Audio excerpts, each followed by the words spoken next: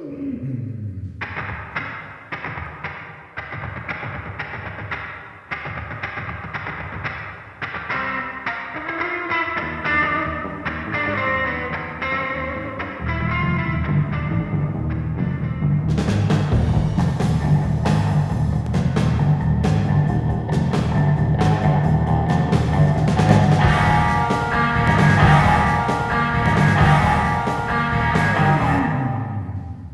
I was somewhere in Ponte heading toward a roundabout, when the Red Bull started to kick in.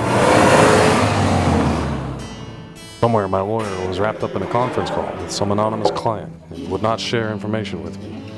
Somehow I was supposed to find him in this county of short shorts wearing perfectly combed receding hairlines. No phone, no fax. It was only a matter of time before I would find him, sticking out like a sore thumb. After all, how big could Vedra really be? I felt a bit disoriented and like driving more, and then all of a sudden the sky was full of these retina piercing beams of sunlight swooping down like lasers, and a voice inside was screaming, Holy Jesus, where are my goddamn sunglasses? Never mind.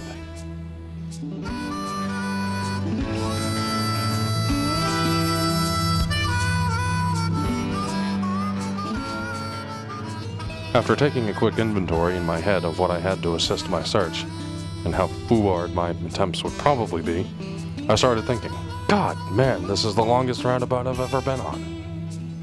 Suddenly, to my realization, it became apparent I was just doing laps around the busy shopping center, generally confusing any bystanders, but getting great gas mileage. I had three cases of Red Bull, a gallon drum of whey protein, ten capsules of Zip Fizz, numerous supplements, powders, pills, and syrups and not one intention of using them responsibly. I had to be on full alert, looking for this bastard with no rhyme or reason as to where to even start. Taking to the main roads, I remember Ponte Vedra was a modern day mecca for golfing. In my experience, golf meant alcohol, and I required strong drink. The Red Bull would be wearing off soon, and I knew I had the absinthe. It would only be a matter of time before I got into that horrible stuff.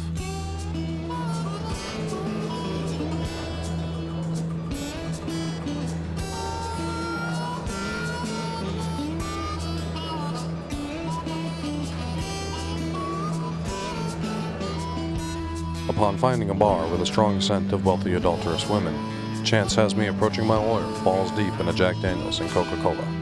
Of course, not a single female within 20 feet of him.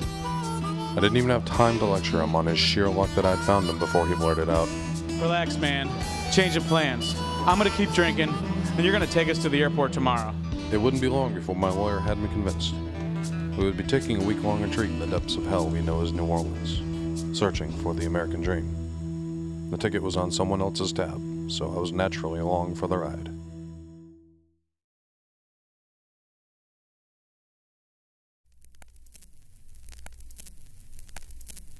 You've become a caricature of your former self. Would you like a beer? Would you like a beer?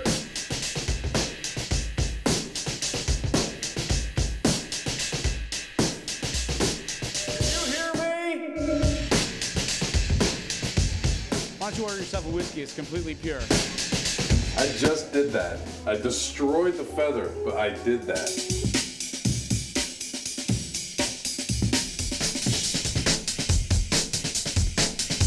Buy the ticket. Take the ride. Did you just move the lines off the table? So, uh, this client, the bartender, I assume, you know, leading people on wild goose chases only to drunkenly run into them at some local bar is very bad for one's karma.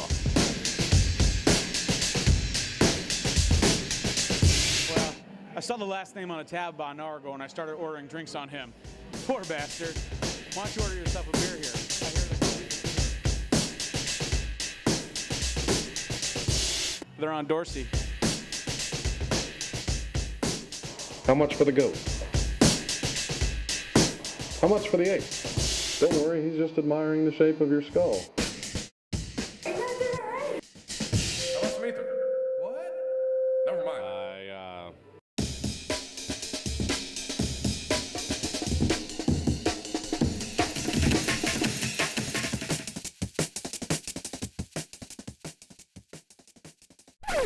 You know, like, where does a lot of this shit come from?